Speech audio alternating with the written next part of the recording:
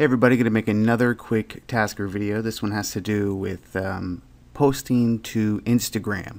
Now, what's what's so fun about manually posting your pictures or video to Instagram? It's not very fun. We have Tasker, so we're going to make Tasker do it uh, with some automation. So let's give it a go.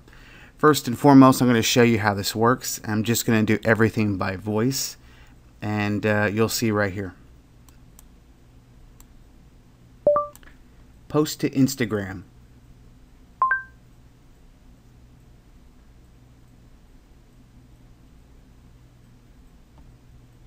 Photo or video? Photo.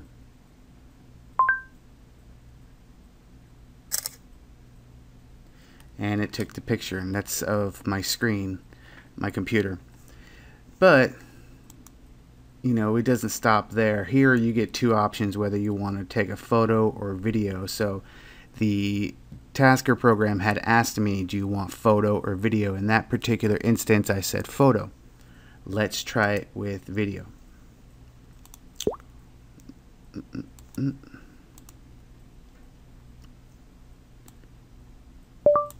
Post to Instagram.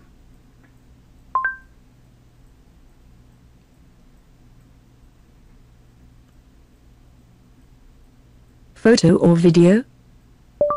Video.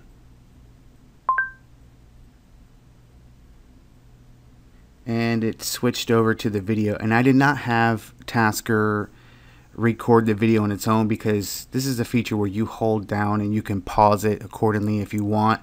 I want to be able to be in control of that, so I did not get Tasker to do anything further other than this. But I'm going to go into Tasker and I'm going to show you how I did this. It's real simple. Get rid of that. So we're going to open Tasker. And on this one,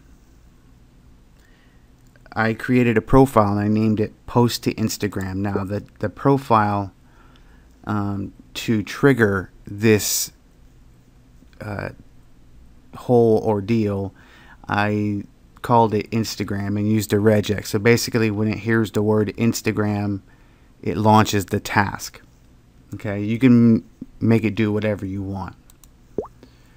So on the task, what I did was first and foremost, I launched the Instagram app and then I waited about four seconds.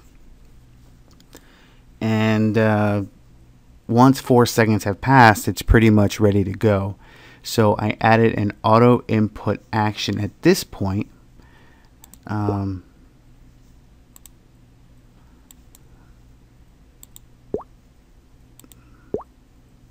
at this point, we're here.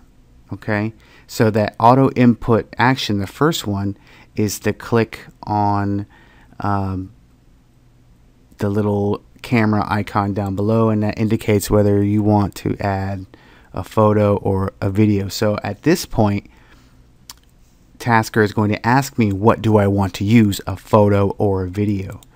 So I,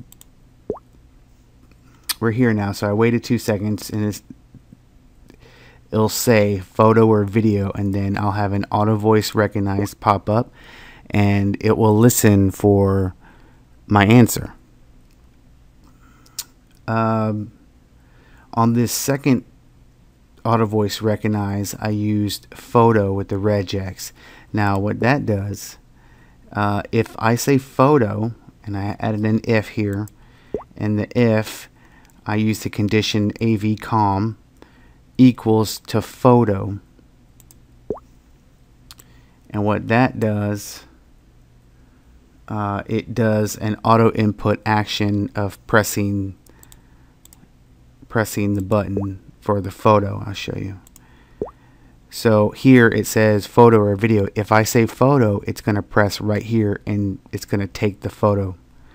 Um, now, if I say video, it's not going to do that and it's going to press here to change it to video.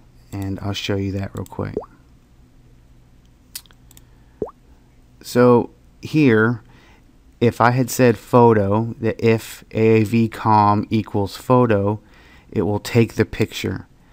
Uh, or if it does not, my response does not equal photo, basically anything else, um, I'll have an AutoInput action. And that basically presses this right here. So when it says photo or video, if I don't say photo, I can say cookies or you know trees or whatever.